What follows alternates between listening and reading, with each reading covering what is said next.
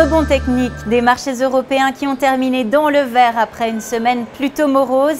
À la clôture des marchés parisiens, le stock 600 gagnait 0,46% à 390 points. À Londres, le FTSE progressait de 0,47% à 7471 points.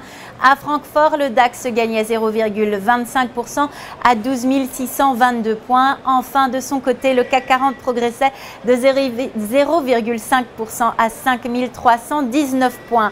Du côté des plus fortes hausses du CAC 40, nous retrouvons Valeo, plus 2,15% à 64,13 euros et Veolia Environnement en hausse de 1,79% à 19,30 euros. En revanche, à la baisse, nous avons Vinci, moins 0,57% à 76,46 euros et Legrand, moins 0,38% à 61,06 euros.